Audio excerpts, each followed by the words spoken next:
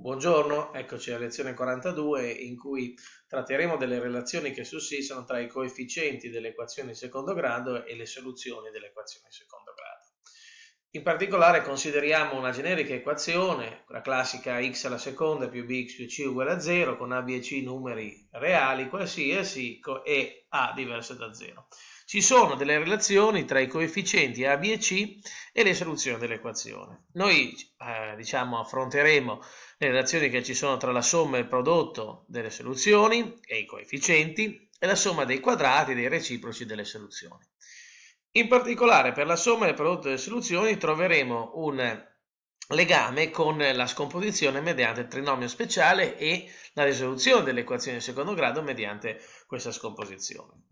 Allora, eh, proviamo a scrivere banalmente la somma tra le soluzioni usando la formula per risolutiva, quindi meno b meno radice di delta fratto 2a più meno b più radice di delta fratto 2a e vediamo che la relazione che c'è tra la, la, somma generica delle soluzioni vale meno b fratto a.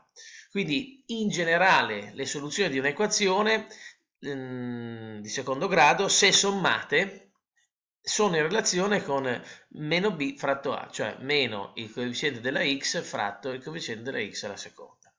La stessa cosa posso fare per il prodotto e vedo che la relazione che sussiste è C fratto A. A video vedete anche la dimostrazione molto semplice di queste due formule.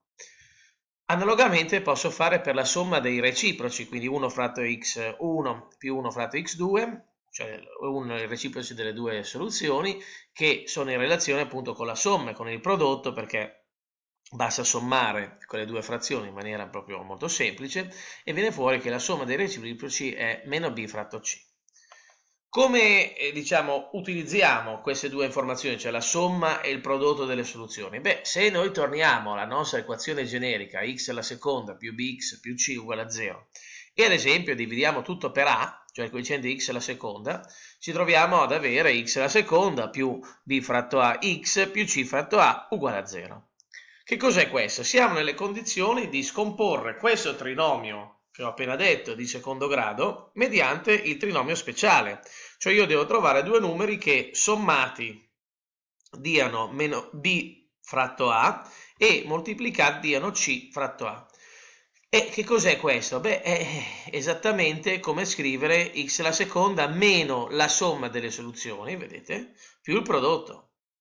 E questo perché? Perché banalmente se io vado a scomporre un polinomio, io devo cercare due numeri che sommati diano b fratto a e moltiplicati c fratto a e pensate ad esempio al polinomio x alla seconda più 5x più 6, beh, i due numeri sono x più 3 per x più 2 e vedete che il prodotto rimane 6, rimane lo stesso, la somma tra i due è 5 che corrisponde esattamente a meno la somma delle soluzioni perché le soluzioni di quel polinomio che ho appena detto sarebbero meno 3 e meno 2 anzi sono meno 3 e meno 2 e quindi vediamo come la risoluzione di un'equazione mediante le scomposizioni si accorda banalmente con la formula risolutiva non poteva che essere così. Ci sono altre formule che riguardano la somma dei quadrati delle soluzioni e la somma dei reciproci dei quadrati, e che sono queste diciamo dove che, che vedete scritte qui a video dove S vuol dire la somma delle soluzioni e quindi S quadro meno 2P dove P sta per il prodotto delle soluzioni dove la somma l'abbiamo detto prima era meno B fratto A e il prodotto era C fratto A Useremo queste formule in particolare per la risoluzione delle equazioni parametriche di secondo grado e per diciamo, rispondere in termini generali alle proprietà che deve avere un'equazione di secondo grado non determinata, cioè non con dei coefficienti numerici ma con dei coefficienti variabili, ovvero appunto come dicevo le equazioni parametriche. Vi ringrazio per la vostra attenzione e alla prossima lezione.